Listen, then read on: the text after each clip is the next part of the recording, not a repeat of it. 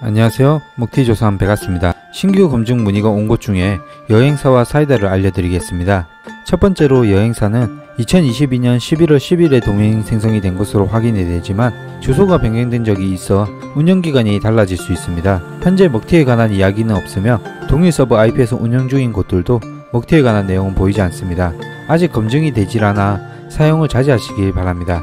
두 번째로 사이다는 2022년 11월 12일에 도메인 생성이 된 것으로 확인이 되고 주소가 변경된 적이 없는 신생 사이트입니다. 동일 서버 IP에서 운영하고 있는 곳들과 함께 먹튀에 관한 내용은 없지만 신규 사이트는 먹튀 확률이 매우 높기 때문에 검증이 된 이후에 이용을 하시길 바랍니다.